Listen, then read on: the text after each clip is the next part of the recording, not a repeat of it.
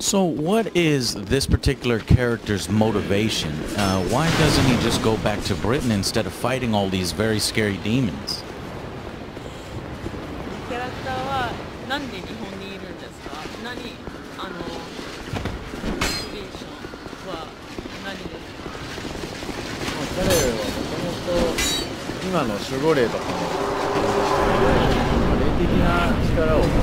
キ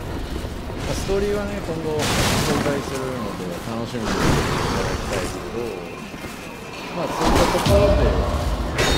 えーいろんなさっきお聞いた通り大きな戦いに巻き込まれるっていうのもあるしそういう霊的な力があるから戦国時代の通信力とか話の性とかキャラクターとかにあって戦って